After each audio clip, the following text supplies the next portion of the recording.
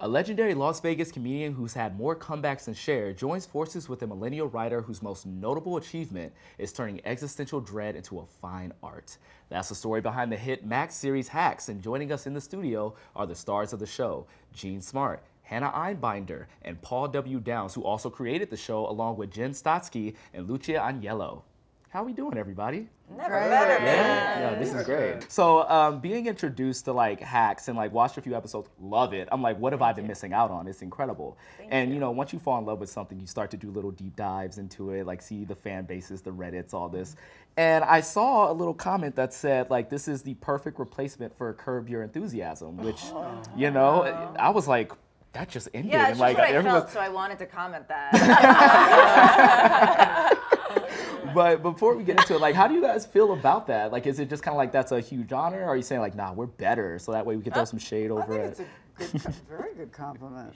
You know, Yeah. that's Sure, a- the highest compliment. That was yeah, a we're fabulous all show. Huge Larry David fan. LD? Oh my LD. god. Well, also too because the, the, the show was so real, you Yes. know, and, and, and mm-hmm. we strive to have that same kind of, you know. Yeah, no, I totally get that. Well, I'm glad you guys have the gratitude for it because I have the gratitude that it even exists, and then many other people do. So I'm like, when I read that, I was like, incredible. Great. So, Paul, like, how did the original idea for Hacks even come about? Like, especially when there's this commentary on the like aging comedian or even just aging actresses. Like, there's always like a little bit of pushback when it comes to that. Like, so where did that idea come from? You know, Jen, Lucia, and I were on a road trip to Portland, Maine, um, and we were in the car and we were talking about our favorite comedians who aren't people that necessarily had um, the success that a lot of their male counterparts did. They didn't have, they, they weren't Jerry Seinfeld, even though they were stand-ups at the same time. Right, right. Um, and we were like, what happened to all of those female stand-ups? Like, why weren't they Jerry Seinfeld or um, um, Jay Leno, or why didn't they have the huge platforms that a lot of their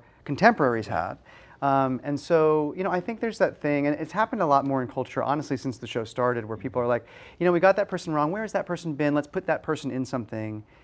And I think that we've always sort of had, um, we, that, that's just always appealed to us. And we wanted to explore a show um, that dealt with a, a stand up who wasn't necessarily understood by a younger writer, um, but whose very existence and achievements helped pave the way for that woman in comedy and for everyone in comedy. And so uh, it was 2015 that we started Yeah. talking about it. And then it took a while for us to even pitch and then start to make the show. So we've been thinking about it for a long time. That's really cool. Yeah. Yeah. I love how you described it because it almost seems like a celebration of those comedians that like should be getting the love that they always have, like a Jerry Seinfeld and those type of people. Uh, Jen, I want to talk to you about like providing your like unique voice and perspective to this conversation surrounding the generational divide between like comedians in this sense. Like, how did you kind of like see that, and how did you go about kind of like putting that into the show? Yeah, I mean, like Paul was saying, we wanted to pay homage to these women and, and kind of explore the idea of why they hadn't quite gotten their due. But to do a character study like that, we thought it would be most interesting to do it through the lens of a younger writer who maybe mm-hmm. didn't fully appreciate her and see that evolution as she comes to appreciate everything she'd done and how that everything she'd done forged that path for her. And you know, I think for us that we wanted to explore that generational divide and where they align and where they don't align. And, and because you know comedy is so much about connection and it's mm. about coming to a place of understanding each other and it's a lot easier to come to a place of understanding each other when you're laughing first. It like yeah. relaxes everybody and then you can kind of hear someone else's perspective maybe a little bit better. And so for us like their generational divide was just something that was so like key to the show because we said like that's a uh, that's a lens through which we can like talk about a lot of things but first and foremost make people laugh and make people have a good time watching the show. So yeah it's it's it's always been from the conception of the show a very important piece of it. And very important. And like you know, I'm laughing every time I'm watching it, so you Mm-hmm. accomplished something there. That's very go. great. It's Let's hard for me to laugh. It's, it's really not hard for me. I love laughing. Now, Lucia, I don't want to put you on the spot. Uh-oh. There's a reason why we sat you in that specific spot right there. Really? Yeah, Okay, because let's I want to ask you a very important question. okay Was Jean your first choice? Yeah. but the, here's the thing about Jean. She, I'll tell you. I'll tell you the truth. Is if you think about the kind of character that we wrote and the tone of the show, which is it's got hard jokes and mm-hmm. she's playing a stand-up comedian and but there's also you know more dramatic moments and if you really think about somebody who can do both of those things with ease. Mm-hmm. There is nobody other than Jean to do that. I mean, she can, and the reason I think that she can do that is she's so deeply in the moment as an actor. And that is why when she's on stage playing a stand-up comedian, it feels real. It is almost impo- I know stand-up comedians who do not seem like stand-up comedians on camera. Right, right. You know, but Gina's so dropped in as just a performer. She's listening, she's constantly present. And uh, to me, that's the reason she plays a stand up so convincingly. And then when you pair that with somebody who can, same reason, be so in the moment as a dramatic actor that she can handle those scenes too, it's like, I dare you. I'm like, show me, show me someone else. There is no one else. So I'm sorry, no, no, no, no offense to these women, but, um, but you know, it's like that's not that's not something that is done easily, and, and she's her, um, she it's an instrument, and she has complete mastery over that instrument. Okay. s- See, we just did I I that. should retire right now. Not yet. We got some more seasons. Gina's left the building now. Uh, we just did that so we can give you some hype. But You know what I'm saying? Like, 'cause you deserve it. It's okay. You deserve it, right? And now that now that you know this and you hear this, talk to us about Deborah. Talk to us about your character. Like when you initially read for her, what is it that drew you in? I, I just said this this part has everything I could want in a in a role. I mean, I I've said this before. I said if, if I had sat down with a piece of paper to write down everything I wanted in my next job, it had it every ticked every box, I love it. and it just was it was funny. It moved me. It was it was smart. It was forgive the pun. Um, it, it just had everything. Yeah. And absolutely. And plus, you know, I'd always fantasized when I was growing up, and I told them this in our first meeting. I said, "You have no way of knowing this, but Phyllis Diller was my idol when I was in middle school, and uh, I always thought that it looked like enormous amount of fun, but I never had the guts to try it. You know, And so this way I get to do it, and people get paid to laugh at my, at my jokes. So I have all the fun and none of the rest. That actually works a lot for you. Oh, it's the best. That's amazing. well, now we're gonna ha- hand it over to Hannah because you know you're like the other side of the coin, part of the big duo and everything. And I hear that you've been been doing stand up for a while and you haven't acted before. Like, talk a little bit about making that jump, the differences. Was there difficulties? Was it like fitting like a glove? How did that go? I think um, stand-up comedy is all about building up like a facade of a persona. Even if even the most like natural comedians who sound like they're just telling a story or talking are shaping a character that they are portraying. It is a performance of self, and to uh, let those sort of let that construct fall away and step into something else is probably like where the transition happens, which was what I um, had to do, uh, just in terms of like uh, understanding performance in a new way. Um, but you know, like the role of Ava was really locked into my sensibility. Like there felt like a real alignment between like their comedic style and mine, and um, especially the way they wrote this character. So I think that's probably why I was able to step in and do it. It feels so natural to you. You Thank know, you. It, it always amazes me when you hear someone's acting for the first time and they're just killing it. You're just kind of like, she really is a natural. And Yeah. it's like w- the same thing like what she was so nicely saying Mm. is that she is in the moment. I mean, that is a term that we talk about with an actor where there's it's like every moment she's right there as if she's Mm-hmm. living it at that moment. She just didn't, didn't rehearse it before a time. Mm-hmm. She didn't all that. It's just she's just living that moment, and I see it in her eyes. I mean, it's, it was just there from day one. Absolutely, completely, 100% there from day one. and that chemistry just completely shows like on screen. It's it's absolutely incredible. So this is for Paul, Jen, and Lucia. You tackle so many like issues, and there's a lot of commentary like ageism, sexism, like generate every all of these things. How do you choose like what exactly to tackle like on an episode by episode basis? Do you have like a drawing board? Is there like that weird crazy Charlie Day thing that's like this is what we're doing in episode like season three? Like how does that go about? What's the process? We start with the word ism, and then we put something in front. Back it up, back it up, figure it out. Which one is it? You know, so ism is in is in permanent marker, and then we have dry erase. right? No, we um, you know, it comes it comes. uh, We we approach it honestly funny first, and we think, what is a funny situation? Um, but also, we do think about what is a really rich thing to explore through the lens of women who are so different um, because of their life experience. And so, um, whether that's um, the way in which they uh, view political correctness or the way in which they view sexual assault, it's different because they have different lived experiences. And we try never to say one person is right or one person is wrong. We try and empathize with both people and have them educate each other and make each other better. And I think ultimately, um, you know, it it's kind of it's it's something that we try and do, but we're never trying to make a very special episode or or deal with something Right, right, right. necessarily. You know, it's it's secondary to um, really the the love story that is these two characters and where they go. But what's nice is we have two people who care so much about each other and about their work and they feel like they have purpose in life, which Right. means the stakes are high and it means we get to watch them change and we get to watch them accomplish things. And mm. ultimately the show I think is a, is about is about people's fight for dignity and, and, Yeah. and trying to have dignity. And so that is sort of the North Star. It's like, okay, what are they going to do here? What indignity will they suffer mm-hmm. together that they mm-hmm. have to overcome? Yeah.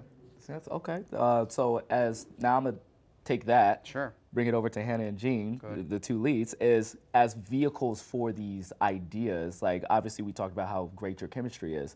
I want to know what did you, what exactly did you do to kind of like work on that chemistry like off screen? Like do you have like do you go out for dinners? Was there like talks? Is there exercises? Like I'm very We didn't curious. do nothing. I, don't like to spend a lot of time with her. yeah, we have actually uh, a restraining order outside the store in place.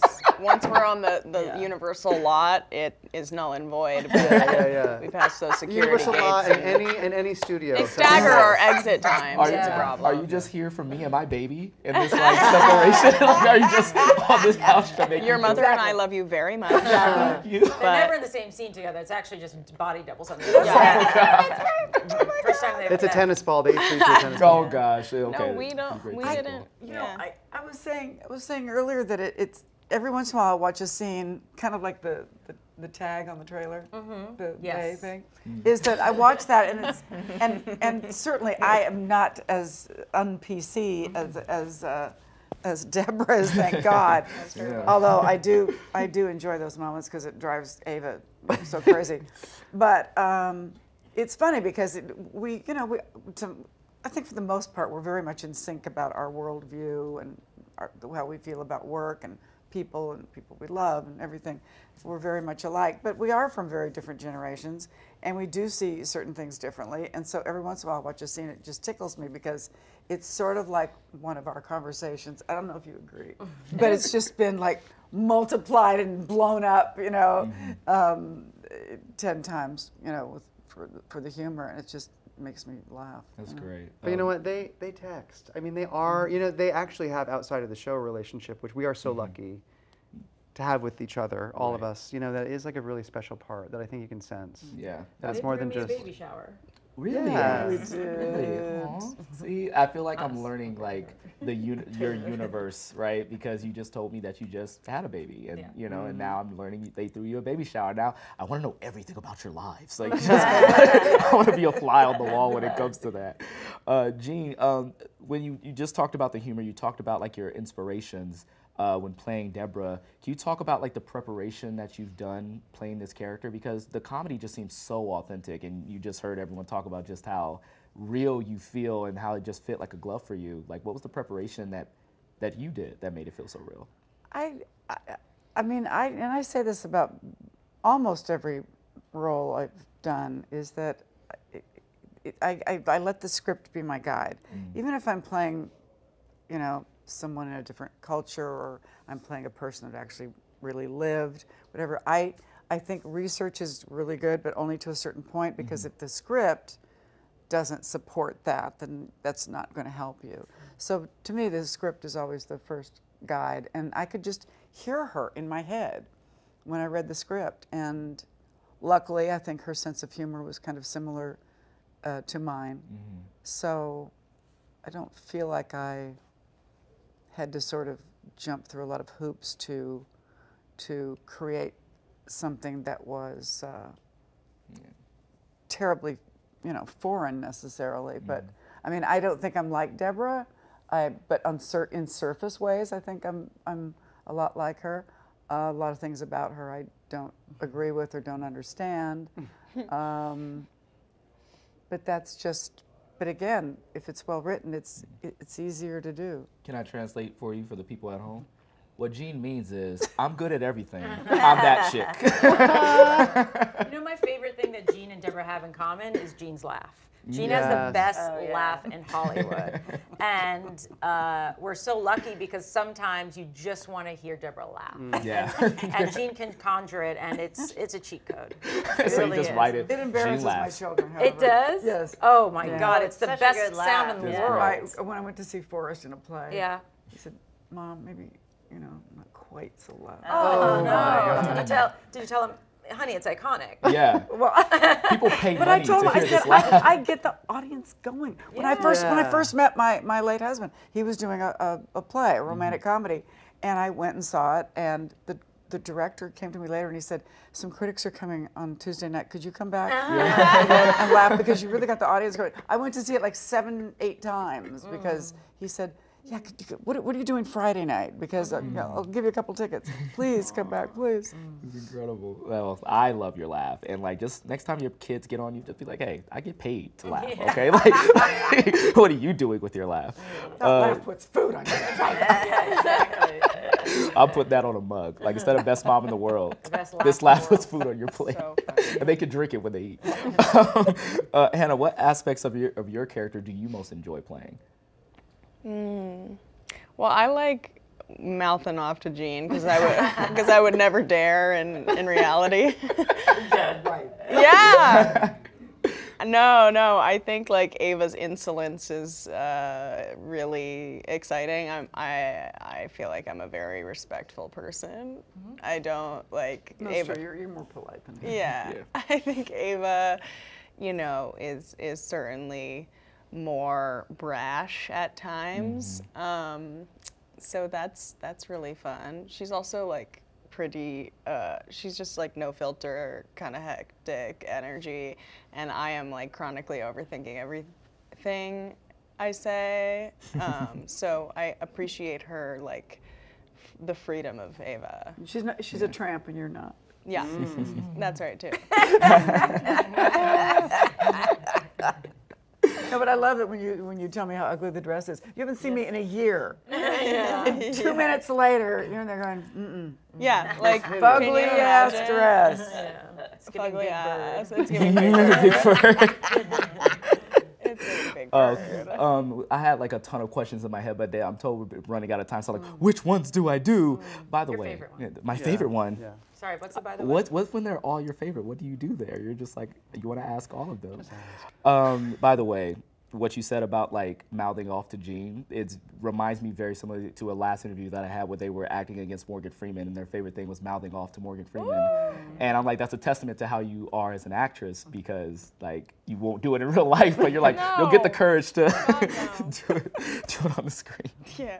So, without giving away any spoilers, like, are there themes or character arcs like you're excited to explore in season three? And uh, again, no spoilers, but like, what are you excited for the people to see once like the show gets going? I'm gonna, Jen. I know you've been quiet a little bit. I've been noticing, so I want to hear from you. We have been saying it's about sex and power. Season three of Hacks is about sex and power. So I think we explore those things, and we're we're excited for people to people to see them. Um, what else can we we, tease? we do take on cancel culture pretty hard. Mm-hmm. oh yeah, mm-hmm. yeah. Mm. We Okay, take on Christmas. tease. That's always We a take, take on Christmas. We take And on Christmas. The war on Christmas is way great. back. Yes, I love that. Oh yeah. Okay, No, we don't me take it on, but we do- we- We don't take it on, but we, we have an episode on Christmas. One thing Yeah. that Deborah Vance and Jean have in common is a love for Christmas. Oh, yeah. That's right. Yeah. So you get to see how Deborah Vance does Christmas. Mm-hmm. Excellent. Okay, It's so the people are like foaming at the mouth, just like Deborah's, yes. Deborah's very un-PC Christmas.